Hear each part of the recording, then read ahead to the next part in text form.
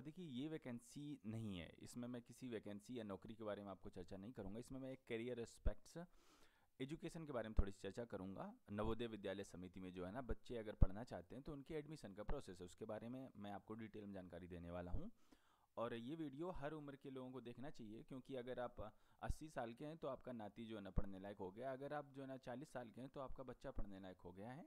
अगर आप जो है ना 20 साल के तो आपका हो सकता है छोटा भाई पढ़ने के लायक हो। तो ये हर किसी उम्र के बच्चों को, बड़े बुज़ुर्गों सबको देखना चाहिए और इन्हें ज्ञान लेना चाहिए और फ्यूचर में जितना भी भला हो सके लोगों का इस इस चीज़ को आज जो है ना बताना चाहिए लोगों को। चलिए शुरुआत करते हैं इस वीडियो के बारे में। तो देखिए, सबसे पहली बात जो है ना, नवोदय विद्यालय समिति। भारत में अगर आप गवर्नमेंट सेक्टर में जाएँ, स्कूल, अच्छे स्कूलों में तो भाई नंबर वन पे कौन आते हैं?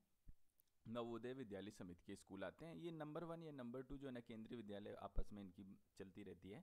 लेकिन केंद्रीय विद्यालय हों या नवोदय विद्यालय समिति एक अच्छी एजुकेशन प्रोवाइड कराते हैं, सरकारी, ठीक है?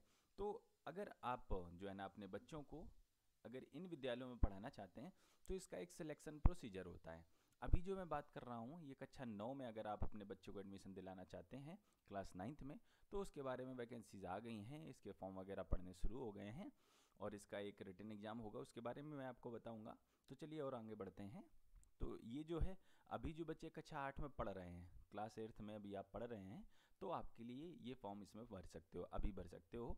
फरवरी में का इसका रिटर्न एग्ज़ाम होगा और आपके जो ना, जुलाई, अगस्त में आपके सेशन शुरू होंगे क्लास नाइन्थ के। तो ये हो गई बात कौन से कक्षा के लिए? क्लास नाइन्थ में 2020-21 सेशन के लिए आपकी जो है ना एजुकेशन के लिए इसमें वैकेंसीज आ रखी है। जवाहर नवोदय विद्यालय ने कर दिया है काम। ठीक है मतलब कि आप अपना ऑनलाइन फॉर्म भर सको। और ये 1968 में जवाहर नवोदय विद्यालय पॉलिसी आई थी, जिसके तहत तब से ही विद्यालय चल रहे हैं और आज जो है ना, अब भी चलते जा रहे हैं और एक अच्छी रेपुटेशन बना के रखी है। इसकी फ़ीस के बारे में सबसे पहले मैं आपको बता दूँ। देखिए, दो तरह के एडमिशन होते हैं। एक तो ये लोग लेते हैं क्लास जो है ना सिक्स से बच्चे लेते हैं और दूसरा लेते हैं क्लास नाइन्थ से। तो ये वैकेंसी है क्लास नाइन्थ वालों की। क्लास सिक्स वालों की फ्यूचर में आएगी तो मैं आपको बताऊँगा। तो ये क्लास नाइन्थ के लिए है। अब देखो, इसमें क्या क्या होता है, आपका क्या पैसे लगेंगे तो देखिए, फ्री स्कूल जो है, आपकी स्कूलिंग है, while education in the school is free. मतलब इसके कोई पैसे नहीं लगते हैं। Boarding and lodging, uniform and textbook, ये सारी चीज़ें जो है ना, आपकी फ्री रहेंगी। ठीक है? मतलब कि रहने का, खाने का, किताबों का, यूनिफॉर्म का, स्कूल ड्रेस का, इसका कोई पैसा नहीं लगता है। लेकिन छः सौ रुपये प्रति मंथ जो है ना collected from the student of class ninth to twelfth ठीक है? तो मतलब कक्षा नौ से बारह से बारह तक के बच्चों के लिए छः सौ रुपये मंथली कलेक्ट किए जाते हैं और विद्यालय विकास निधि के नाम से ही जो लिए जाते हैं।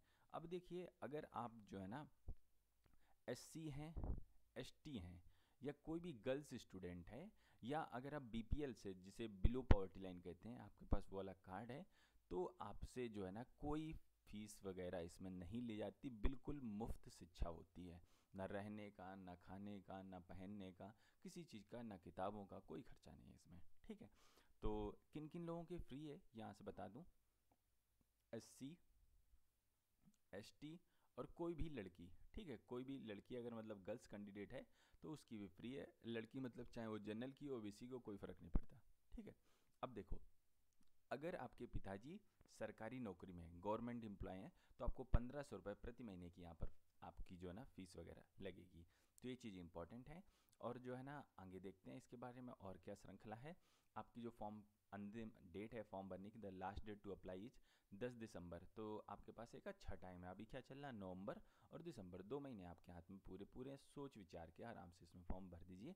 सोचने विचारने की मैं तो कहता हूँ, कोई ज़रूरत ही नहीं है। आप इसमें फॉर्म भरिए और थोड़ी सी पढ़ाई लिखाई कीजिए, ठीक है? क्योंकि इसका एग्ज़ाम जो होता है कंपटीशन काफ़ी अच्छा होता है। कई सारे बच्चे इसमें जो है ना, नहीं जा पाते हैं। देखिए, ये इसकी स्थापना जो ऑब्जेक्टिव क्या है इसका? To provide good quality modern education तो एक अच्छी क्वालिटी की मॉडर्न शिक्षा आपको प्रोवाइड की जाती है। टोटल भारत भर में 636 आपके टोटल जवाहर नवोदय विद्यालय हैं। 28 स्टेट और सात यूनियन टेरिटरी मतलब केंद्र शासित प्रदेशों में फैले हुए हैं। तो अभी ये क्लास नाइन्थ में एडमिशन की बात हो रही है। अब देखिए थोड़ा सा हाउ टू अप्लाई अपना फॉर्म कैसे भरोगे। आप देख लीजिए, आपके फॉर्म 24 अक्टूबर से शुरू हो चुके हैं और 10 दिसंबर तक चलेंगे। और देखिए, आपको ये वेबसाइट है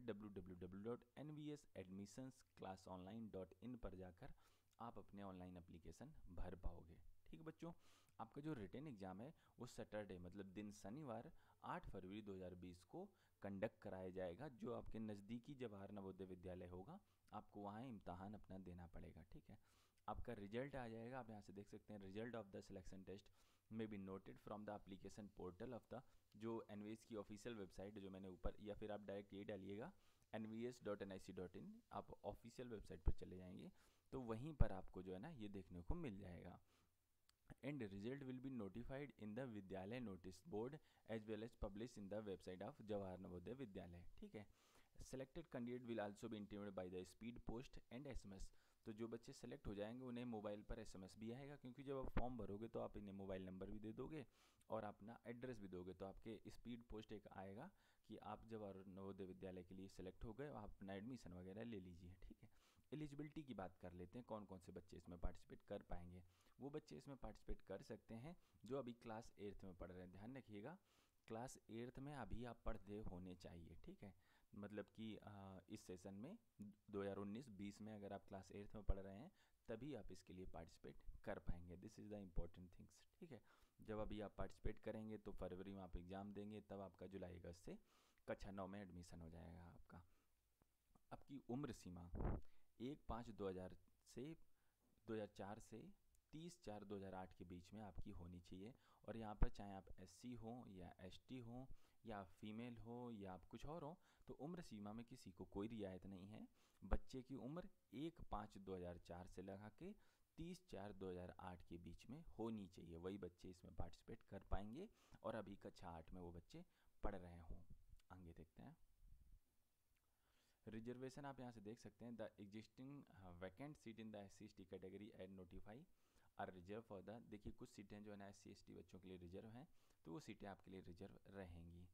सिलेक्शन एंड एडमिशन की बात करूँ तो आपका सिलेक्शन एक रिटर्न एग्ज़ाम के बेसिस पे होने वाला है और जो बच्चों का नाम आ जाएगा, बस उन बच्चों को बुला लिया जाएगा, आपकी एजुकेशन शुरू हो जाएगी। डेट ऑफ़ एग्जामिनेशन आपकी आठ फरवरी 2020 है। आपका पेपर ढाई घंटे का होगा। दस बजे से लगा के साढ़े बारह बजे तक आपका पेपर चलेगा। तो ये चीज़ ध्यान रखिएगा और जो दिव्यांगजन मतलब कि जो फिजिकली हैंडीकेप्ड बच्चे होते हैं, उन्हें तीस मिनट का टाइम एक्स्ट्रा दिया होता है। तो उन्हें तीन घंटे का उनके लिए पेपर हो जाए क्योंकि लिखने में उन्हें दिक्कत होती है, कई सारी और समस्याएँ होती है विकलांग बच्चों के साथ में। तो इसलिए उन्हें थोड़ा सा ज़्यादा टाइम दिया जाता है। आपका जो पेपर है वो हिंदी और अंग्रेज़ी दोनों भाषाओं में आएगा। आपकी जो इच्छा हो, हिंदी में देना हो, हिंदी में देना, अंग्रेज़ी में देना हो तो अंग्रेज़ी में देना, कोई फ़र्क नहीं पड़ता, ठीक है? और आपको जो है ना ओ एम आर सीट क्या होती है? देखिए, आठ क्लास के बच्चों की सब चीज़ें नहीं बता होती तो ओ एम आर सीट आपको ही बताना चाहिए बच्चों को कि ऐसी होती है, आपको गोले काले करने होते हैं, ऐसे करके चार गोले होते हैं, आपके जो भी प्रश्न आएँगे वो जो है ना ऑब्जेक्टिव होंगे। मतलब कि ऑब्जेक्टिव का ये होता है कि एक प्रश्न है, उसके चार उत्तर दे रखे कोई एक उत्तर उसमें सही है। जो उत्तर सही है, उसे गोले काले कर देना ऐसे करके, ठीक है? तो ये चीज़ आपको अपने बच्चों को जो है ना, समझानी पड़ेगी कि इस तरह का ऐसे करके गोले काले कर देना, ठीक है? तो ये ओमार बेस्ड आपका रिटर्न एग्ज़ाम होने वाला है। अब देखिए आपका जो टेस्ट आपका होने वाला है, वो किस तरह का क्या क्या चीज़ें आएँगी? तो देखिए आपकी अंग्रेज़ी आएगी पंद्रह नंबर की, हिंदी आएगी पंद्रह नंबर की, गणित आएगी पैंतीस नंबर की, साइंस आएगी पैंतीस नंबर की। टोटल नंबर सौ हो गए। तो ये चीज़ ध्यान रखिएगा, आपको जो प्रश्न आएँगे वो कहाँ से आएँगे? कक्षा आठ से आपके। जिस क्लास में अभी आप पढ़ रहे हो, उसी क्लास से सारे प्रश्न पूछे जाएँगे। आपको इसके लिए कोई अदर चीज़ नहीं पढ़नी, कोई दूसरे से जाके कोई चीज़ नहीं पढ़नी। आपको अपना कक्षा आठ का सिलेबस बहुत अच्छे से पढ़ना। ये सब्जेक्ट अंग्रेज़ी, हिंदी, गणित और साइंस इन्हें तो बहुत अच्छे से ध्यान से पढ़ना, क्योंकि इसी से आपका जो है ना टोटल सौ नंबर का प्रश्न बनाया जाएगा। अगर आप सीबीएसई बोर्ड में पढ़ रहे हो सीबीएसई बोर्ड से पढ़ रहे हो तो आपको तो किसी और किताब के लिए लेने की ज़रूरत ही नहीं, क्योंकि सारा सिलेबस जो भी आपके एग्ज़ाम में पूछा जाएगा, वो सीबीएसई की किताबों से ही पूछा जाएगा सी बोर्ड की, ठीक है? अगर आप किसी अन्य बोर्ड से पढ़ रहे हो, मान लिया आप यूपी बोर्ड एमपी बोर्ड या हरियाणा बोर्ड या जो भी बोर्ड, पंजाब बोर्ड से आप पढ़ रहे हो तो आ, हो सकता है आपकी बोर्ड की किताबों से सीबीएसई बोर्ड का सिलेबस मैच ना करता हो तो आपको सी बोर्ड की किताबें पढ़नी चाहिए इस एग्ज़ाम की तैयारी के लिए। या आप स्पेशल भी कोई किताब ले सकते हो जैसे कि अरियंत वगैरह की किताब आती है इसकी तैयारी के लिए तो आप वहाँ से भी किताब ले सकते हो और आप उससे भी तैयारी कर सकते हो। मैं नीचे आपको एक वेबसाइट का लिंक दूँगा वहाँ आप इसका डिटेल सिलेबस देख पाओगे। आप वहाँ से किताब भी ले सकते हो सारी चीज़ें वहाँ से देख पाओगे। मैं नीचे कमेंट बॉक्स में दूँगा आपको लिंक वहाँ से आप क्लिक करके चीज़ों को और देख लीजिएगा, डिटेल सिलेबस आपको वहाँ से मिल जाएगा। अब थोड़ा सा और आगे बढ़ते हैं। अब देखिए, आपको सिलेबस के बारे में बता देते जो आपका हिंदी, अंग्रेज़ी है। पंद्रह नंबर का आने वाला है, पंद्रह क्वेश्चन रहेंगे आपको। एक क्वेश्चन एक नंबर का, ये सारे सिलेबस है। Degree of composition, modal auxiliaries, use of preposition, tense form, ठीक रिपोर्टेड स्पीच वगैरह कॉम्प्रेंशंस वगैरह, word and sentence, spelling, structure, spellings वगैरह, कोई मिस्टेक हो जाती है, उससे जानने के लिए। तो ये आपका अंग्रेज़ी का सिलेबस है और हिंदी का आप देख सकते हैं। वर्तमी शब्द भेद, विलोम शब्द, ठीक है, शब्द विवेक, पद भेद, पद परिचय, अशुद्ध वाक्य को शुद्ध करना। तो ये आपके हिंदी के टॉपिक है। मुहावरा, लोकोक्तियाँ, अपठित, बोधात्मक प्रश्न, ठीक है। तो ऐसे अनसीन पैसेज जिसे आप कहते हो ना, वही चीज़ थी अनसीन पैसेज अब देखिए, आप यहाँ से जनरल साइंस से आपके क्या क्वेश्चन रहेंगे? फ़ूड से रिलेटेड मटेरियल से मटेरियल टू से रिलेटेड कोल एंड पेट्रोलियम से living and non living cell structure से रिप्रोडक्शन सिस्टम से। तो ये आपके साइंस से क्वेश्चन इस तरह के रहने वाले। पैंतीस नंबर की साइंस आ रही है तो अच्छी तैयारी करनी। फोर्स की friction force gravitation force thrust and pressures वगैरह।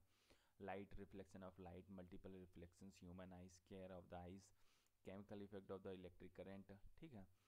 Natural phenomenon solar system, star, तारे, मून, चंद्रमा, इन सब चीज़ों के बारे में।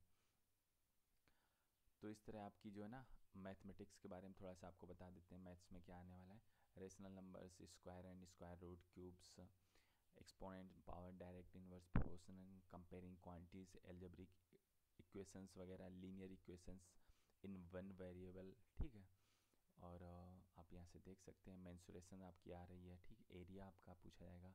डाटा हैंडलिंग बार ग्राफ वगैरह आपसे पूछे जा रहे हैं। तो इस तरह आपको गणित का सिलेबस मैंने आपको यहाँ से बता दिया।